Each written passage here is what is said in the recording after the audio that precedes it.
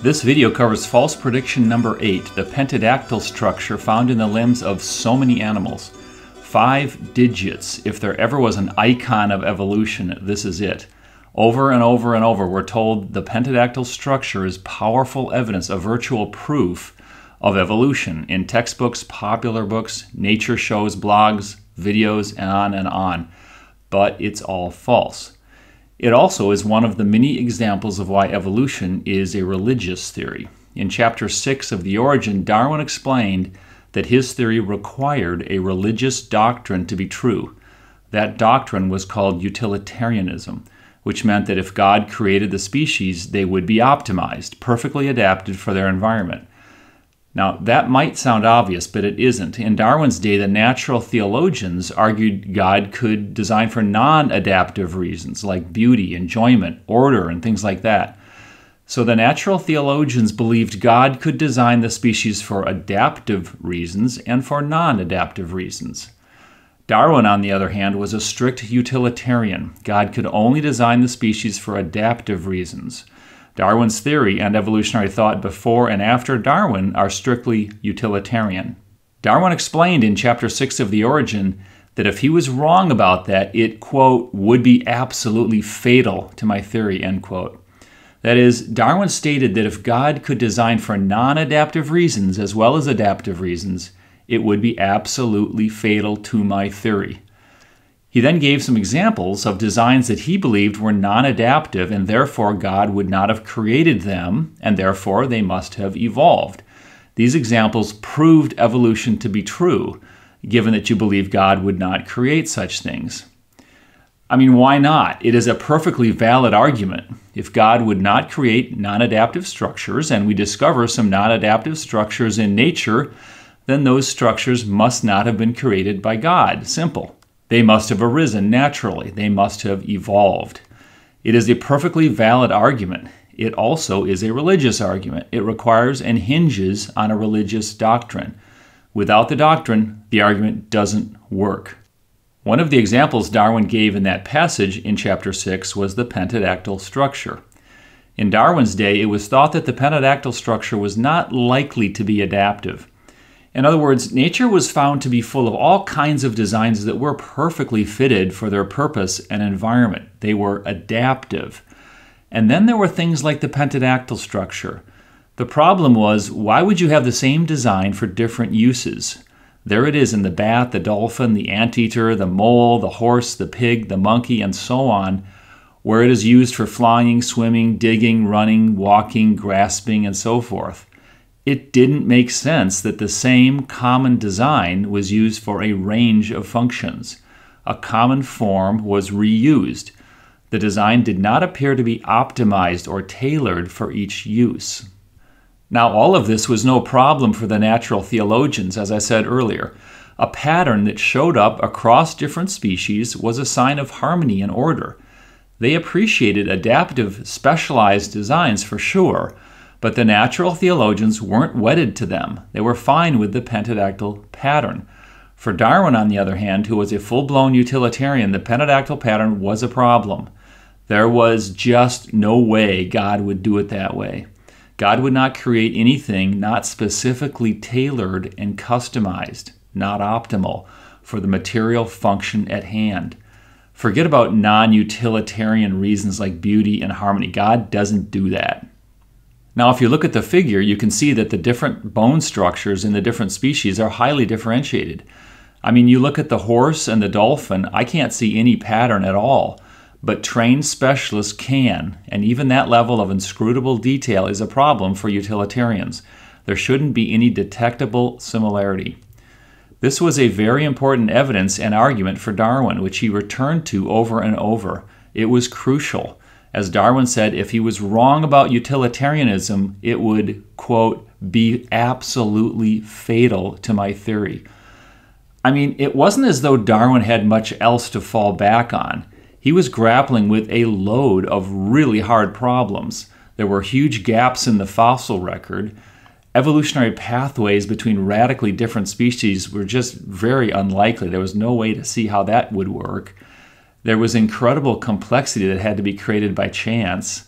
And there was convergence all over biology that was very awkward for Darwin to explain. And after 1871 and George Mivart, it was very awkward. So it was not as though everything fell into place. Evolution and common descent were highly problematic, and Darwin knew it. His strong arguments were that God never would have created this world, and utilitarianism and the pentadactyl structure was one of those arguments. Here is how Darwin put it quote, We cannot believe that the same bones in the arm of the monkey, the foreleg of the horse, in the wing of the bat, in the flipper of the seal, are of special use to these animals we may safely attribute these structures to inheritance. In other words, common descent. When he says inheritance, that means common descent. We may safely attribute these structures to common descent? And why is that? How is it that we may safely attribute these structures to common descent? How is Darwin so confident here? The answer because the bones are not, quote, of special use to these animals, end quote. The bones are not specialized. They are not customized. That's it. That's the argument. That's the evidence. Common descent must be true because the pentadactyl structure does not meet with our expectations for how God would create the species. The bones are not specialized. It's all about theological utilitarianism. That's the whole argument. Without that religion, it falls apart. And this religious argument has been an icon of evolution ever since. Here is a contemporary textbook, some material from a contemporary textbook you can see online. The figure description says all tetrapods have the basic pentadactyl five digit limb structure. The forelimbs of a frog, lizard, and bird are all constructed from the same bones, even though they perform different functions. Did you see that? So, first of all, all tetrapods have a basic pentadactyl limb structure. That's the prediction. And then it follows up the forelimbs of the frog, lizard, and bird are all constructed from the same bones, even though they perform different functions. That's the utilitarianism still there in our contemporary literature. Here's another uh, website you can look at from PBS. The limbs of tetrapods all have the same pattern of bones. Darwin was one of the first to comment that it seems unlikely that this single skeletal structure could be the best one possible for each of the activities it is required to perform in different animals. The explanation for this common structure lies in a common heritage, in other words, evolution and common descent. So there's your prediction again. The limbs of tetrapods all have the same pattern of bones, and then you have the conclusion or the uh, the evidence here. He was Darwin was one of the first to point out that it seems unlikely that this single skeletal structure could be the best one possible utilitarianism. It has to be the best optimized, tailored, customized design. Otherwise, evolution did it. So the prediction is the pentadactyl structure falls into the common descent pattern. Okay, so that's the prediction. Let's look at the falsification because this is all false. Here is a paper from 1990 New specimens of the earliest known tetrapod limbs shows them to be polydactylous. In other words, it's not the pentadactyl structure. The early fossils, the starting point, the base of the tetrapod tree contains animals with different numbers of digits, not just five. The forelimb of one has eight digits, the hind limb of another has seven. Both of these come from the Upper Devonian. Um, another one from Russia has six digits and so forth. We challenge pentadactyly as primitive for tetrapods. The form of these limbs suggests early specialization in the evolution of the tetrapod limb bud. Okay, right there, it has failed. Their the, the pentadactyl pattern is not holding even in the early, the primitive tetrapods. We just read earlier how all tetrapods have the pentadactyl pattern. No, they don't. It doesn't fit the common descent pattern as he, they discuss in this paper. And you'll notice the word specialization there. Uh, it suggests early specialization. That was the death knell. That was what exactly what uh, the prediction was based on, that there was no specialization. And there you have it. Here is a paper from 1993. The diverse earliest morphologies known from the fossil record are inconsistent with typological concepts such as the fixed ancestral patterns or bauplans, in other words, the pentadactyl pattern that was held onto so tightly, so firmly. Here's another paper.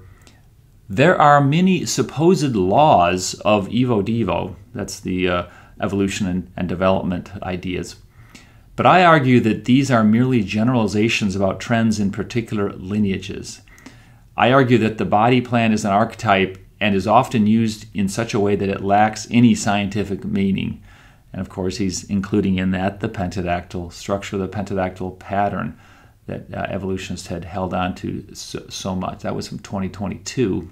This prediction is now known to be false as the digit structure in the tetrapods does not conform to the common descent pattern. As evolutionist Stephen Jay Gould admitted, quote, the conclusion seems inescapable, and an old, quote, certainty must be starkly reversed. This means that evolutionists cannot model the observed structures and pattern of distribution merely as a consequence of common descent. Instead, a complicated evolutionary history is required, and you can see the Brown reference in the, the paper linked down below, where the pentadactyl structure re evolves in different lineages, and appendages evolve, are lost, and then evolve again. So, evolutionists are coming up with these very complicated histories where the pentadactyl structure evolves, goes away, then re evolves. It's doing all kinds of things in different lineages in order to fit the data. Uh, so, so they'll talk about all of these evolutionary dynamics. What's the point is the data do not fit the theory, so they're having to come up with all these epicycles, these patches to the theory. Here's another paper. Our phylogenetic results support independent instances of complete limb loss, as well as multiple instances of digit and external ear opening loss and reacquisition. Even more striking, we find strong statistical support for the reacquisition of a pentadactyl body form from a digit reduced ancestor. So again, the, the pentadactyl pattern is coming and going. Now, when they say strong statistical support, th- that's not actually accurate. They're speaking within the evolution paradigm. In other words, assuming evolution is true, then this must have happened. There's no such strong statistical support from a scientific perspective. Uh, skipping down, the results of our study join a nascent body of literature showing strong statistical support for character loss, followed by evolutionary reacquisition of complex structures associated with a generalized pentadactyl body form. Okay, here's another paper. Uh, here they write Here we show dramatic evolutionary dynamism in the gene expression profiles of digits challenging the notion that five digits have conserved developmental identities across amniotes.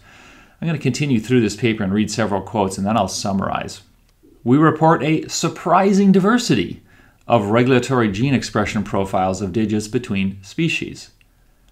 Our analysis shows that patterns of regulatory gene expression in digits are evolutionarily dynamic the developmental identities of digits are evolving across amniotes and can be lineage specific. The frameshift hypothesis is an integrative model. It aimed to explain an apparent incongruity. Our results show that any such integrative model will be more complicated than previously presumed. It has been proposed that patterns of digit reduction in theropods might be more complex than is generally assumed. And they say that evolutionists will need a willingness to consider hypotheses that previously might have been regarded as heterodox. Okay, so what does the paper say? Surprising diversity. Limb structure is evolutionarily dynamic. Surprising complexity. Phylogenetic incongruities are observed. Lineage specific patterns are observed. It's more complex than was thought, the whole problem. And we need to consider heterodox theories. All of this is bad signs for evolution. This is the signs of a false prediction. This is what a failing theory looks like. Okay, so we've looked at the prediction and we've looked at the falsification. What about the outcome? This false prediction about the pentadactyl pattern forces evolutionists to construct far more complex and ad hoc evolutionary histories, introducing internal inconsistency.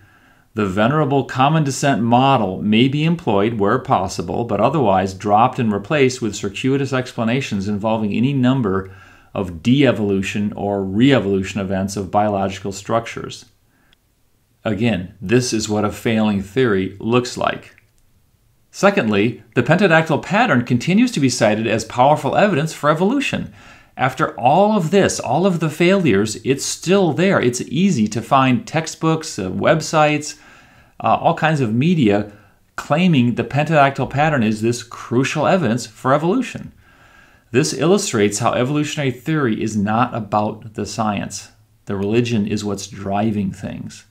So we have a prediction, we have a falsification, and we have a response, and it isn't good. What does this say about the failed theory virtues that we've been looking at? Evidential accuracy, causal adequacy, internal consistency, internal coherence, universal coherence, simplicity, durability, and fruitfulness. Well, I don't need to go through these in detail. We're failing on all of these. This false prediction fails on every single one of these. And well, it, it just is another example of a failing theory before our eyes. Religion drives science, and it matters.